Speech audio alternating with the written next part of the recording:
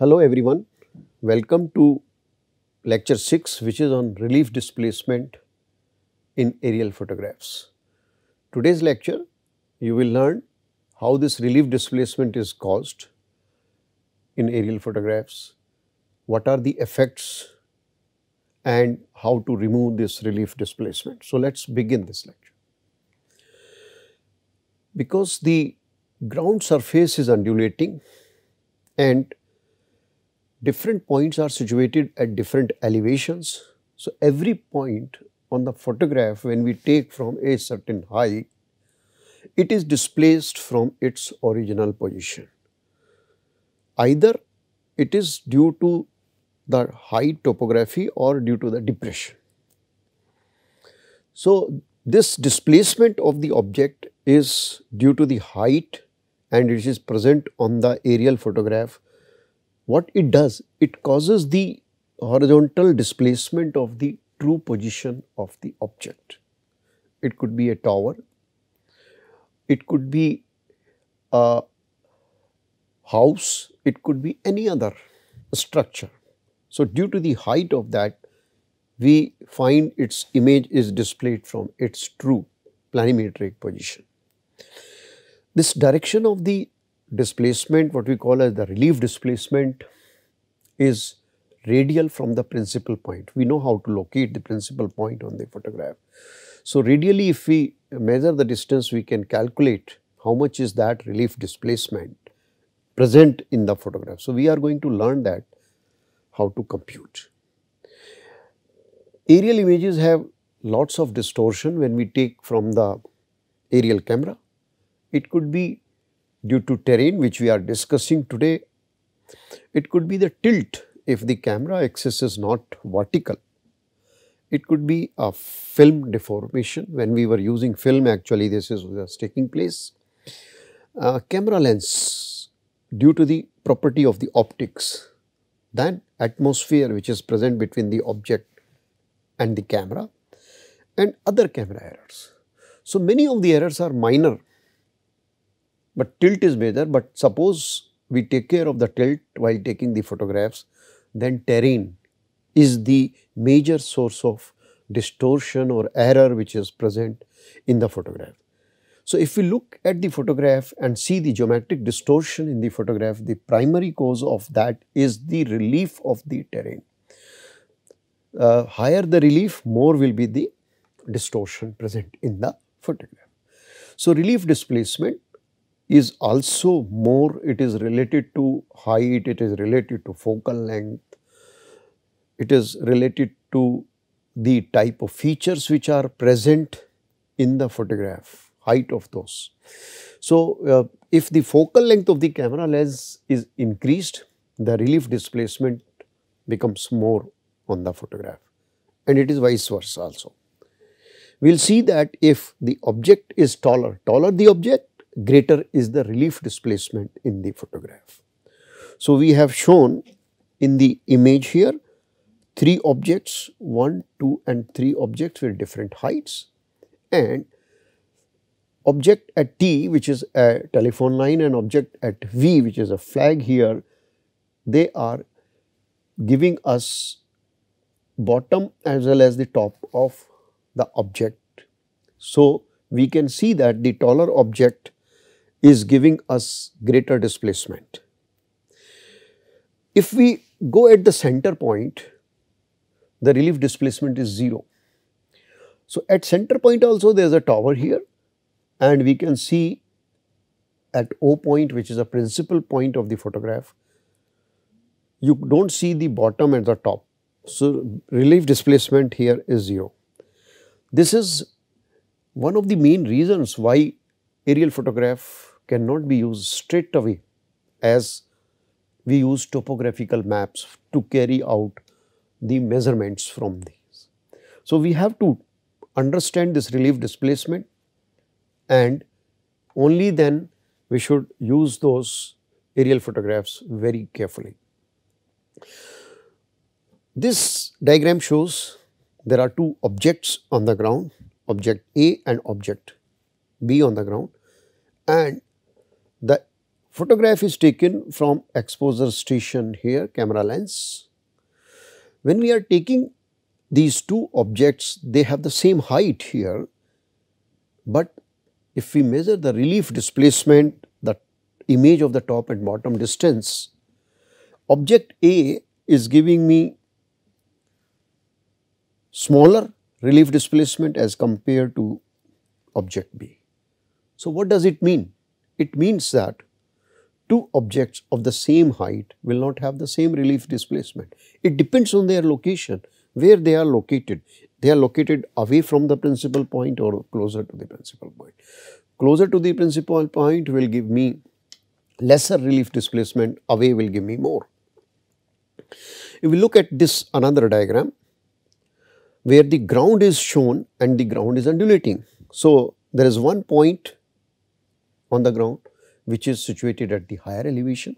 There is another point shown here which is situated at the lower elevation.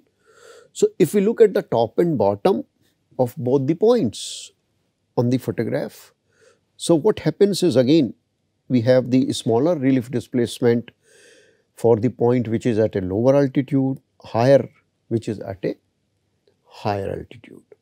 So, this gives me another idea that the height of the terrain is related to the relief displacement.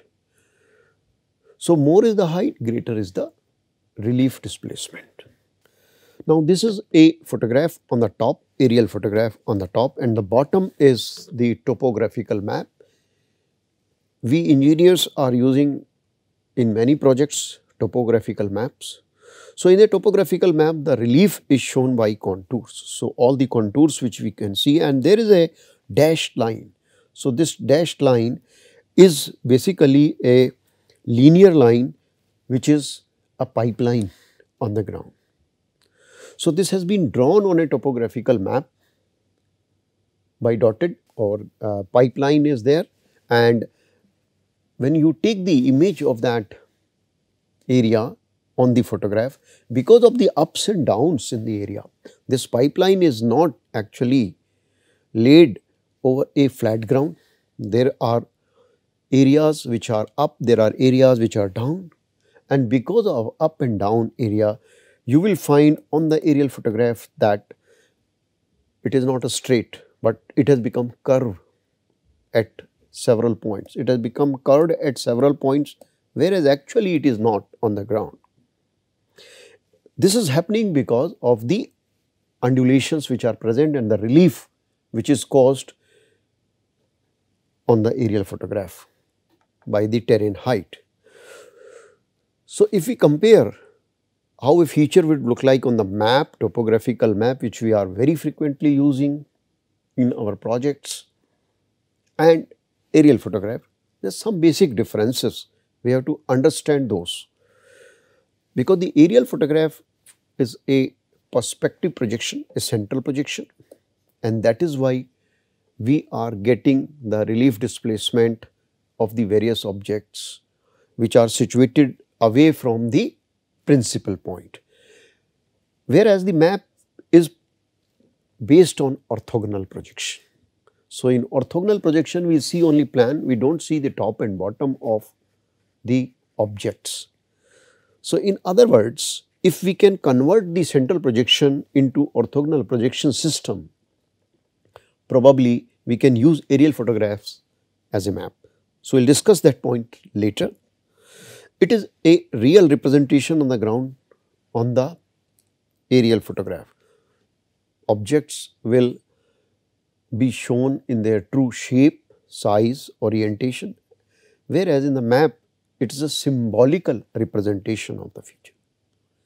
We know that the scale of the photograph is not uniform, it varies from point to point, but the scale of a map is throughout uniform. The aerial photograph has geometrical distortion which is present, which we are discussing today, whereas the map is the geometrically correct representation of the earth. We assume that it is error free. A relief displacement is present and terrain relief is without distortion. Now, at times it becomes very very difficult to read a photograph and identify the objects. In the previous slide, if I wouldn't tell you that this is a pipeline, probably it was difficult for you to identify that this was a pipeline. But it becomes very very easy because there are symbols, there are colors, there are notations to read those features. Aerial photography can be carried out for inaccessible and hazardous area very quickly, very easily whereas uh, it is not possible in case of the mapping. So, there are basic differences between the map and aerial photographs and because of the differences the photographs cannot replace the topographical maps. We have to remove all those distortion, we have to make the scale, understand the scale and then we can use it. So, the primary geometric distortion which is present in the vertical photograph is due to the relief, due to the height of that point. Now, the objects which are directly below the nadir will have only their top visible. So, any object which is just below the camera axis will have only top visible, but the other objects now as you move away from the principal point, you will find the top of the object as well as the bottom of the object. If the objects are tall and far away from the center of the photo, the distortion and the positional error will be larger and larger. In the photograph we can see uh, object, a taller object. So, this higher object which is present in the photograph, it could be a building, it could be a tower, it could be a hill, they will be displayed away from the principal point like in this diagram. So, they will be displayed outward from the principal point whereas the points which are situated at the lower elevations, depressions, valleys etc., it will be just reverse. So, they will be displayed inward toward the principal point. So, if we see whether the point is inward or outward displayed, we can find out that the point is situated at a higher altitude or point is situated on the valley point. In this particular photograph, you can see the Washington monument here and this is leaning outward. So, this is situated at a higher ground comparatively. This is another photograph where relief displacement is present and we can see for many buildings, we can see the top as well as the bottom of the image. So, this relief displacement helping us in two ways basically determine the height of the objects. We can determine what is the height of this particular building here because we can see the top and the bottom by taking certain measurements and also it can help us to recreate to create the 3D view of the area uh, using a stereoscope. So, we can use some device and create a 3D model. Now, this is a aerial photograph shown here and there are chimneys, cooling towers. We can see 4 cooling towers. Now, the cooling tower has a shape, the bottom is bigger and then it becomes narrow at the top. You can see in these 4 images, cooling tower images that the cooling tower which is present in the center exactly you can see the top point as well as the bottom point, eccentric circles. But if you look at the other three points, you can see the top and bottom they are not exactly coinciding in the center, but they are going little away, displayed little away from its true position. Whereas on the ground, this is geometrically correct figure. So, on the photograph, because of the height of this cooling tower, they appear to be displaced, top image and the bottom image. Whereas at the center point, the relief is 0. We can see the bottom and the top.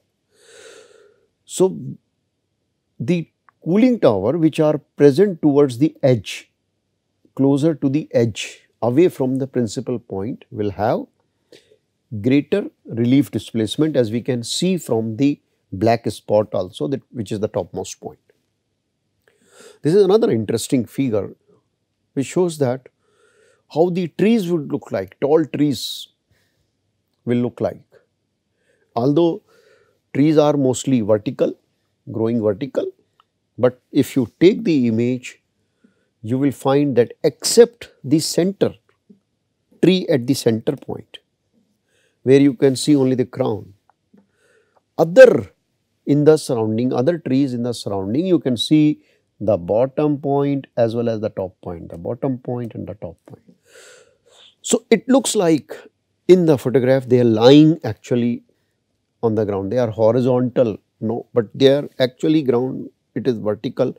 It is the relief displacement which is giving me this kind of image. So, wherever we can see the top and bottom of the image, that particular distance is due to the relief and we have to find out how much is that particular distance when we are using these images. Let us derive a relationship for that.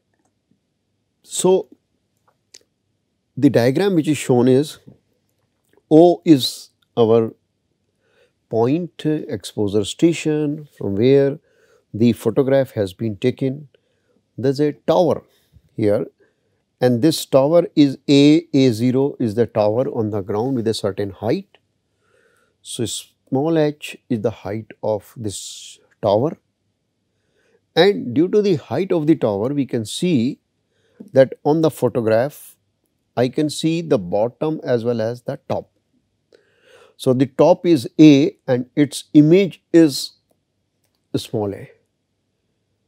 It is capital A0, so image here is small a0. So, I can see measure this particular distance, small a, a0 distance on the photograph. So, if I could measure that distance, I can find out the relief, how much relief is present because of this h height. In this diagram, capital H is the flying height of the aircraft, f is the focal length of the camera lens. So, if we draw a line which is actually perpendicular to the principal line from A. So, I will get a point here. So, now we can use basically the property of the similar triangle. So, our objective here is if we could find out AA0 distance which is the relief displacement distance that is our objective. So, we are assuming certain things here. We are assuming that the distance of the top point on the photograph is from a principal point is small r and r0 is the distance of the principal point of the bottom of the. So, this is r0. So, this we are just assuming that the top and bottom distance from the principal point are r and r0 and we can measure these distances using the parallax bar devices. We locate principal point of the photograph and we can see both the points the top point the bottom point and we can measure r and r0 we can measure that. Now let us assume the r distance r is from the uh, bottom of the tower to the ground nadir point that is R0. So, if we like to establish a relationship using the property of similar triangle. So, let us take two similar triangles O K A0 and O K0 A0. So, this is these are the two triangles here. This is one and this is another triangle. So, they are similar triangles now and we are using the property of the similar triangle if I take the ratio here r0 distance which is the horizontal distance now in this triangle here upon r distance. r0 upon r is equal to focal length divided by h, property of the triangles I am taking here. And from this relationship now I say r0 is fr upon h. So, I know r0 here. So, I know focal length, I know capital H, what is unknown is capital R is unknown so far. So, this is my one equation. Now, now I will take another triangle. So, there is another triangle which is also similar triangle. Let us take two similar triangles O K small a and O K dash 0 A. So, these are the two similar triangles OKA and OK0 dash and A. I am using the same principle of similar triangle here. I know this distance which is R, R upon this is again R. So, R upon R is equal to focal length divided by h minus h because this particular distance is h minus h in this triangle. So, from this I get the value of r is equal to fr upon h minus h and we know that relief displacement which is a a0 is the relief displacement. So, a a0 relief displacement will be r minus r0 if I substitute the value of r from the previous relationship and R0 from this relationship. Now, I can determine the value of D. So, if I calculate D now by substituting the values, I will get the relief displacement D is equal to F R H capital H divided by capital H H minus H. And we know what is R. R is equal to h minus h upon f multiplied by small r from our earlier relationship. So, if I replace here r because this is not known to me, I know f, I know capital H, I know small h, but capital R is not known to me. So, I replace capital R with the value and when I am substituting it, I can see that everything cancels out and what is left is d is equal to r small h upon capital H. What is r? As you can, if you remember, r is the distance of the principal point, distance of the top of the image from the principal point. So, this distance we can very easily measure using parallax scale.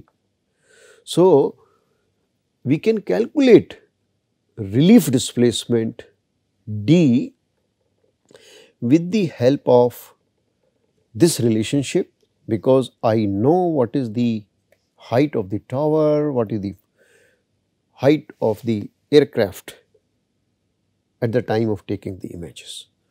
So, this relationship gives me several clues and one is that relief displacement is directly proportional to the radial distance of the displayed image.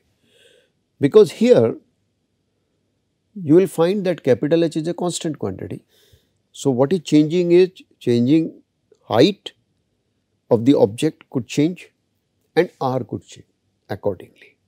So, I would say that relief displacement is proportional to the radial distance of the displayed image point and also it is directly proportional to the height of the object for which we are calculating the relief displacement.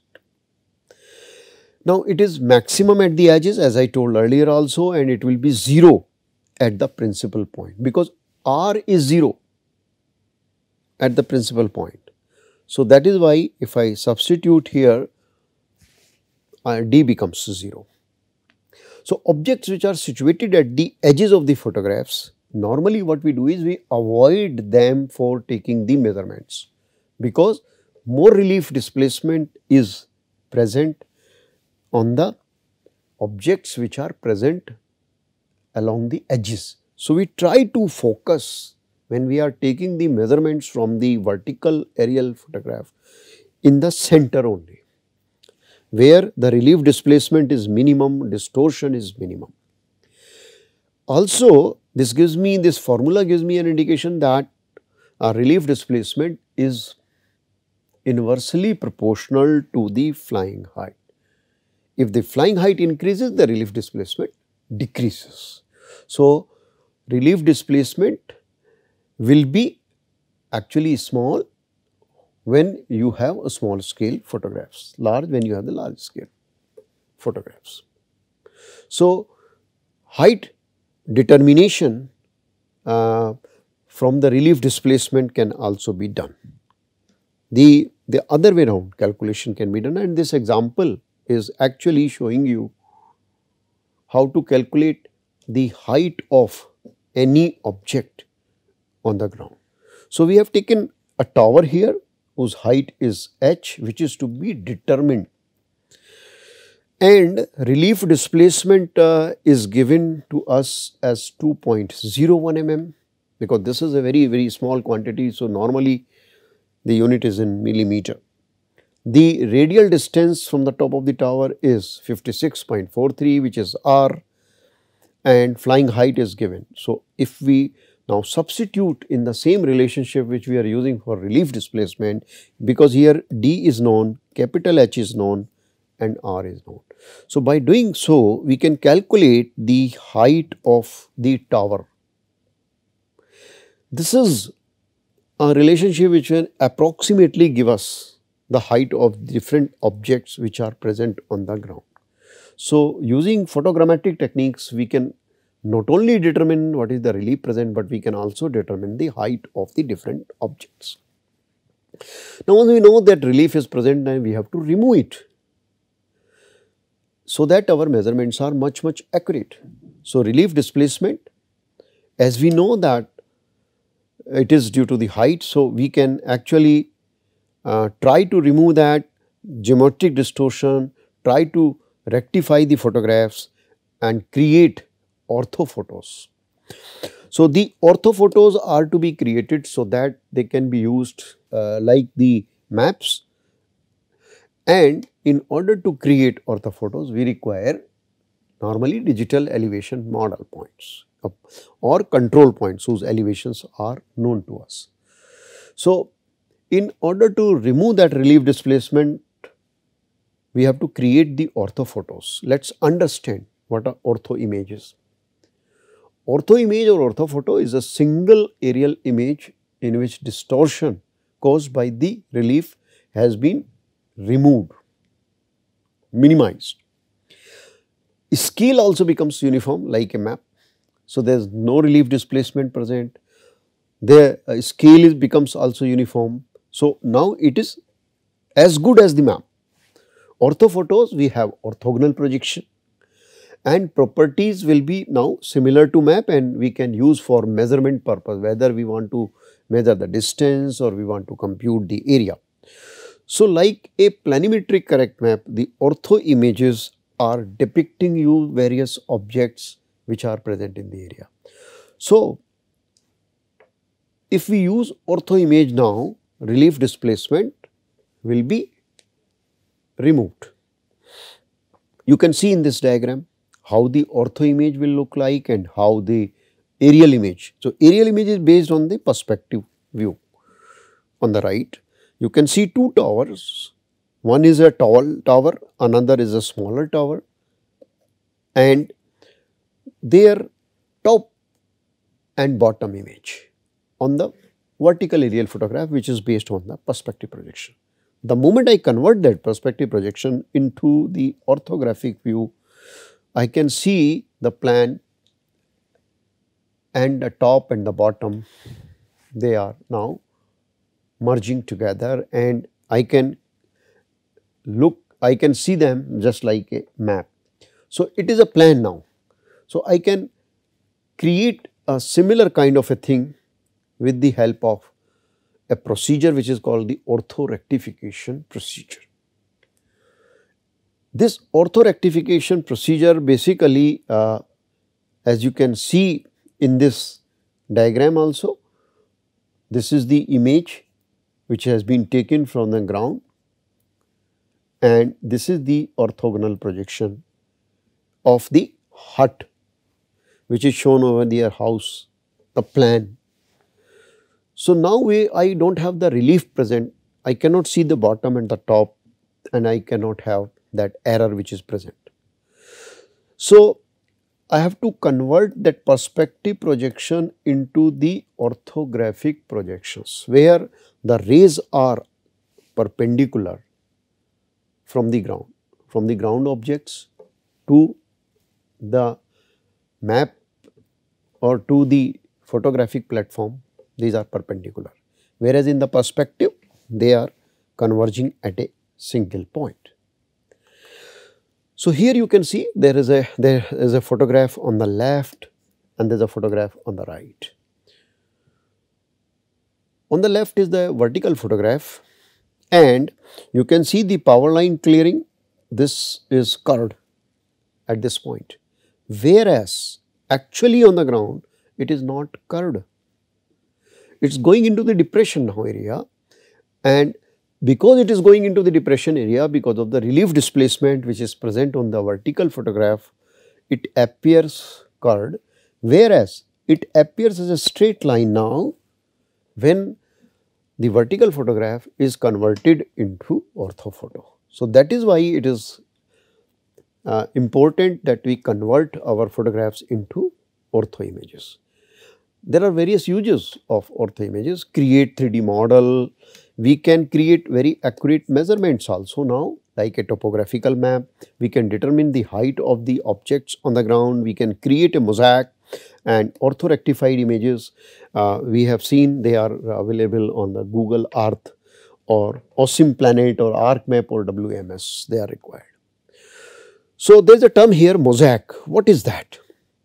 We uh, can use ortho images to create the mosaic. So, mosaic basically the assembly of two or more images, to see the bird's eye view of the area, to see the large area at one glance. And this is a requirement for many of our work. When we are working, maybe we are not working on a single image. So, we have to create a mosaic from ortho image because that becomes much, much better, accurate. So, normally there are two procedures. One is creating the uncontrolled mosaic. The name itself is suggesting that what you do is uh, on the basis of the overlap region you keep on joining. So, you do not require any ground control points. So, there is no control to check the accuracy when you are joining them together. So, uncontrolled mosaics are only good for viewing the area. You cannot take measurements on this because they are not accurate measurements. So, for viewing the area they are good because they are joined together with the help of the overlap region. But the second category is the controlled mosaic and the name itself is now giving the meaning that view require certain control. So, we require ground control points, several ground control points so that the details could be matched. So, whatever is in the overlap region, we keep on matching those details and create the mosaic of the entire area. When the terrain is flat, the controlled mosaic can be as accurate as planimetric map.